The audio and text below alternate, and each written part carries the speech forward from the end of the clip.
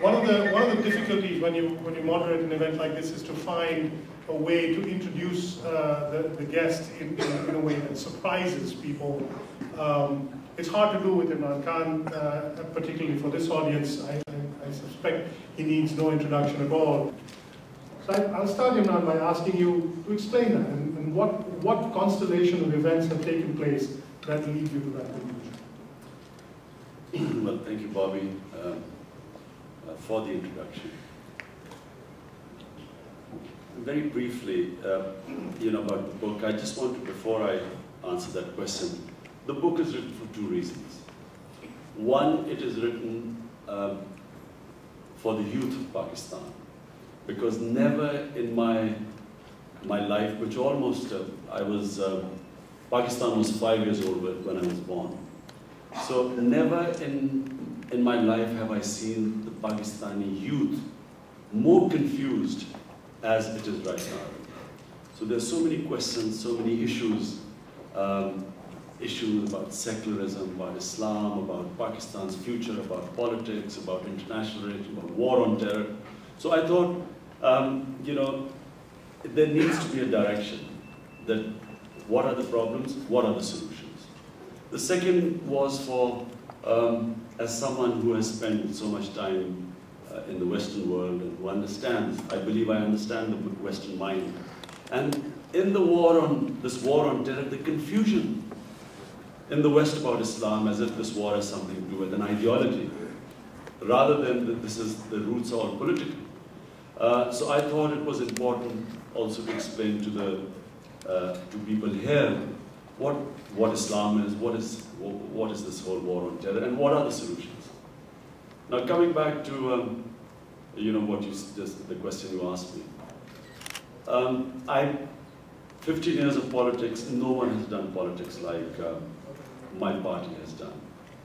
To be in the opposition in, in, in, in, Pakistani politics, in which there was eight, eight years of military dictator, is the hardest thing if you compare politics to the Western world. And then to survive in these 15 years, staying in opposition and surviving. And then emerging suddenly in all the opinion polls as the most popular party in Pakistan today.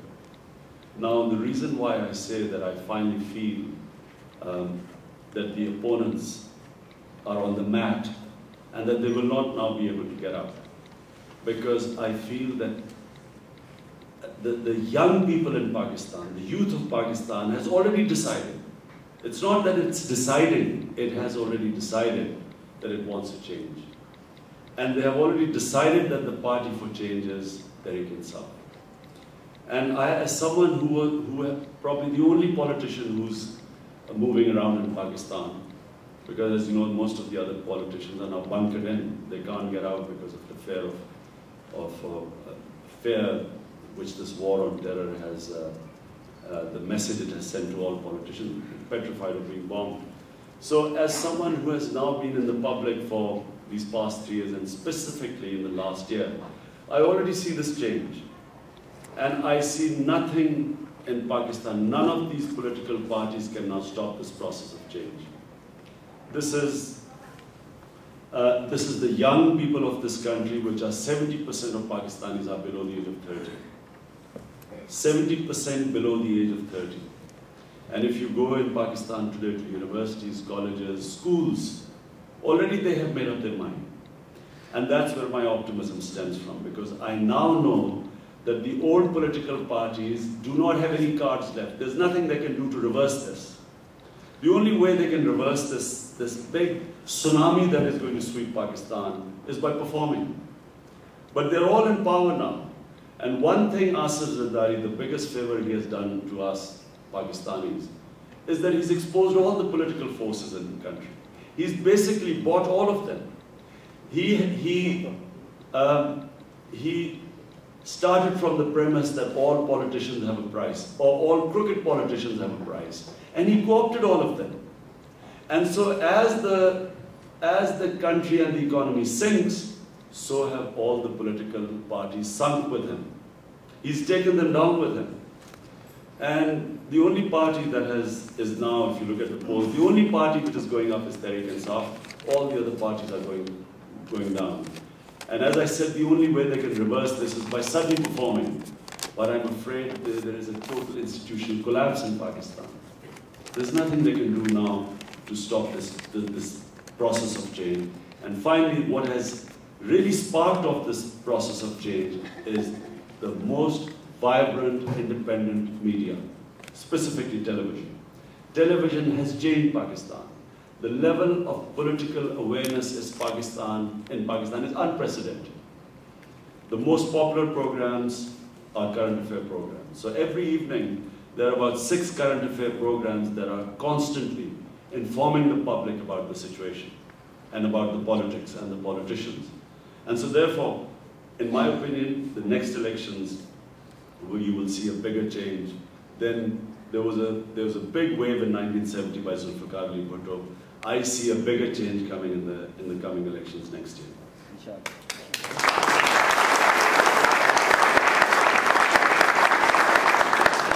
You pointed out that 70% of Pakistani are young people, um, and they, they face uh, a great deal of misrule, corruption, um, lack of jobs, inflation.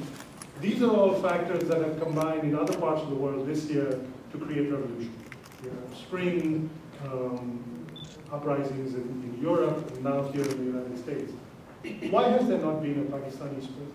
You see, there was already a Pakistani uh, equivalent to the Arab Spring actually happened, what was then called the Lawyers Movement. That was our Arab Spring. Um, unfortunately, that was hijacked. As you will see these Middle Eastern uh, revolutions being hijacked, there's counter, there's counter-revolution already taking place in some of the countries. Ours was, uh, you know, as we were moving towards a genuine democracy, unfortunately we were hijacked by one of the political parties. They joined us and then they then all of us ended up boycotting the elections, saying that these elections were, were managed, there were pre-poll rigging in that, the Chief Justice was in a house arrest. How could you have an election when the media was muzzled, politi uh, political party workers were in jails? Uh, and unfortunately, at the last minute, PMLN ended up going into the elections and destroyed this movement. Then again, this movement started behind the Chief Justice in what was called the Long March, which was Again, the whole public joined in. And again, uh, this polit uh, political party did a deal and came back halfway through from Islamabad, and again the whole movement collapsed. But this time, uh, this time, I'm afraid, um, as the political party itself has got exposed, now what you will see, uh, that unlike the Middle East, we are probably a country which actually has now a political party to lead this. In the Middle East, the problem is this is it's all it's a civil society coming out, but there's no clear leadership. In Pakistan today, Tehreek-e-Insaf is giving that leadership. So, for, which stands for a movement for change. So we are actually ahead of the Middle East. Secondly, our media is way ahead of the Middle East. In the Middle East, it was the social media that was that is what created awareness. In Pakistan, we actually have a very vibrant print and, and, and television. Uh, electronic media, which is uh, constantly uh, informing the public about what's happening. When I, when I last met you, it was in Washington two years ago, um, you were already expressing quite a lot of alarm about the nature of American-Pakistani relations. And, and, you were concerned that American policy uh, executed in Afghanistan and in Pakistan was putting an enormous strain on Pakistan, but also sort of threatening the, the core of this relationship. And now from reading your book, I get the impression, if I'm reading it right, that you feel that that has come to pass, that the damage is now quite substantial, maybe irreparable. Am I reading that right? Well, look, you know, I, I opposed this war on terror from day one because, you know, it, it, it, it was as if the Bush administration had decided that they were fighting some conventional war. A war on terror is, eh, eh, you know, you win the war when you win the people over to your side. It's essentially a war of winning the hearts and minds of people and isolating the terrorists. Now, this nightmare which unfolded in Afghanistan and Pakistan was clearly losing, it was all for losing hearts and minds. So they were never going to be, they, they were never going to win, win this war. It was so obvious to anyone who was watching. Now just to, the reason why I, from day one I opposed this was because I'm probably the only Pakistani who has traveled all over the tribal areas.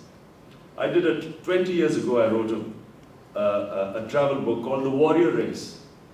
And, and throughout the tri tribal agencies, I, I've been there. And uh, and in this book, I had written that this was the ultimate warrior, warrior race in the sense that every man is a warrior. Because I have, you know, my passion, apart from cricket, used to be shooting. And because they knew I, uh, I would shoot, everywhere I went, I was challenged for, to shooting matches in the tribal area. And 14-year-old boys would be able to shoot, you know, uh, as well as, as, as, as anyone. So here was a, and I'm talking now specifically of the tribal areas of Pakistan. Now, there are about a million armed men in our tribal areas.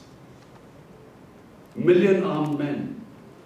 Now, it was so obvious that if some Al-Qaeda had come from Tora Bora into Pakistan, clearly the way to win this war was to use these million armed men who had always stood by Pakistan to isolate the terrorists.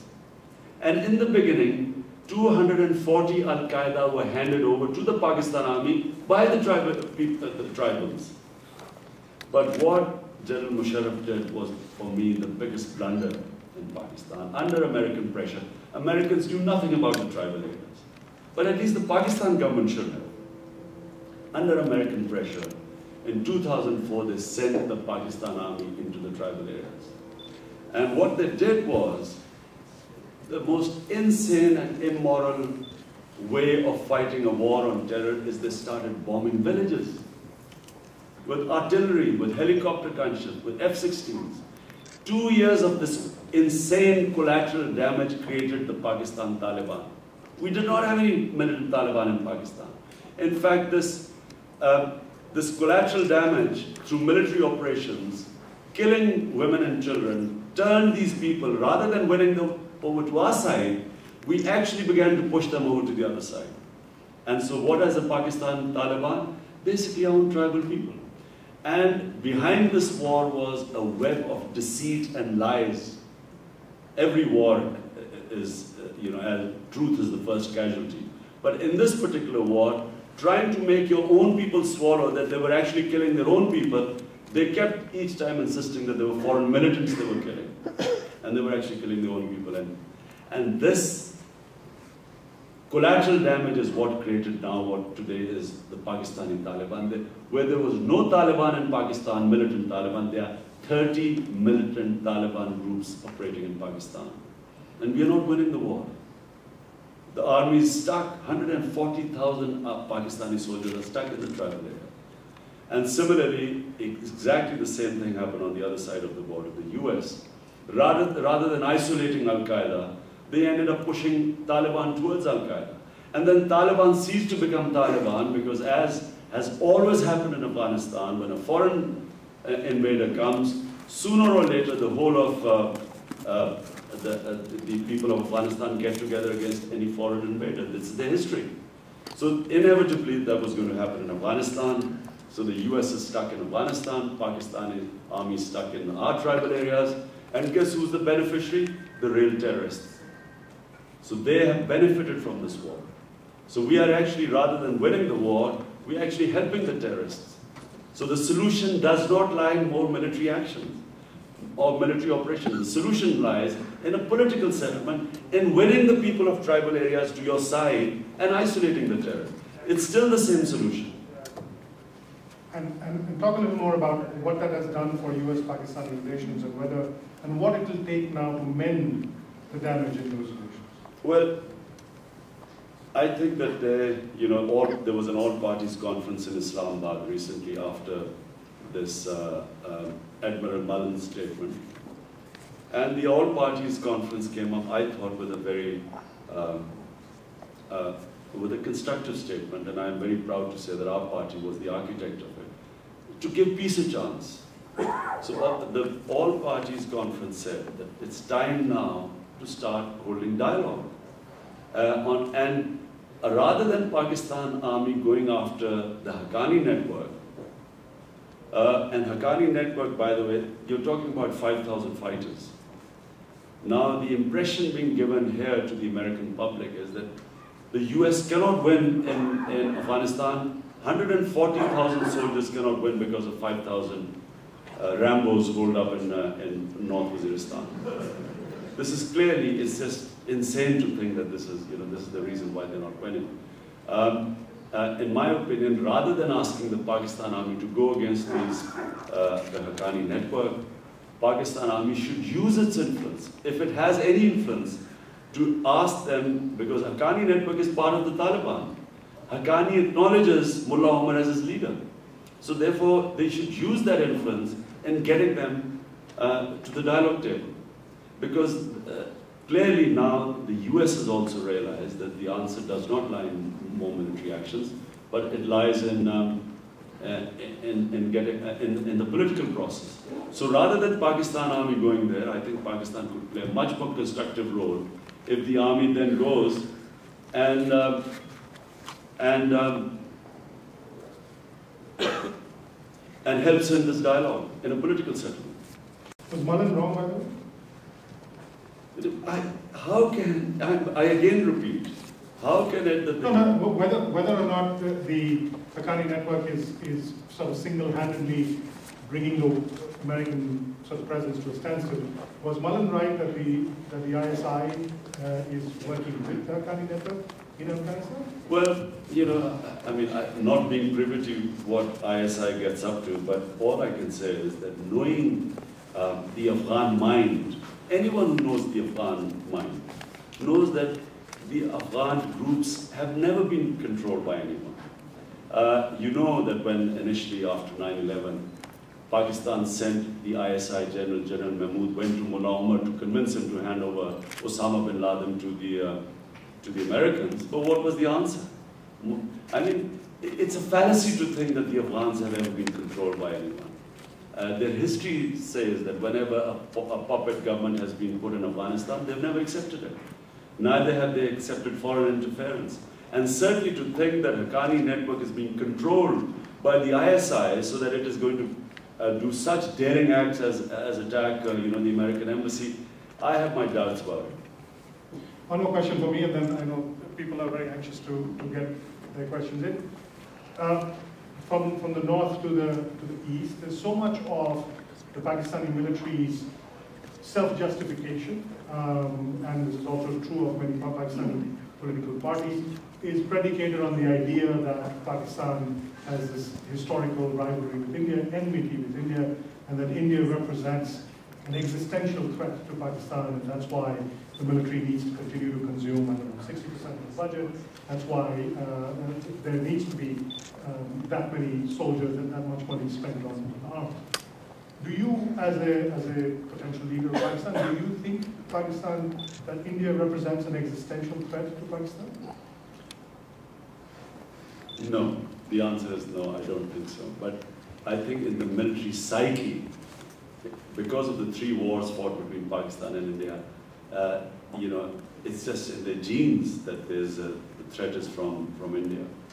And, and being a smaller country, always you know, the threat is exaggerated. And as a result, of course, the army has played a disproportionate role in Pakistan because of this, this uh, perceived threat from India. But I think that, you know, time has possibly come for um, Pakistan and India to, to have a completely new relationship. Because, you know, the two...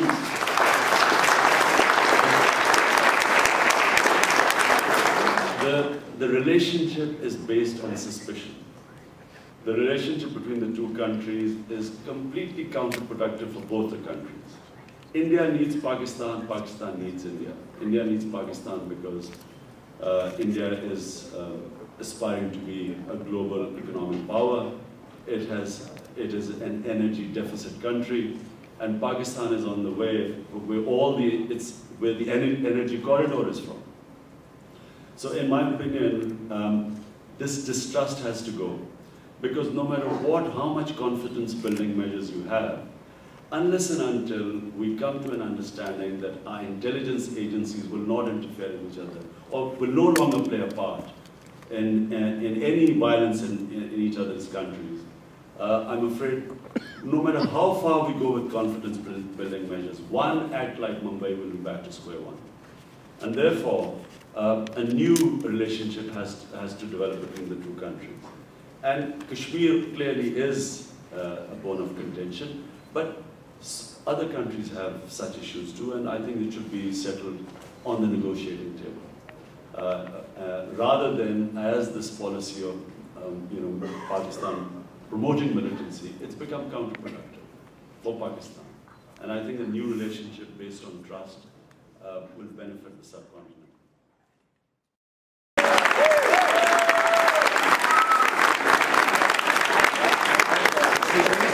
I wanted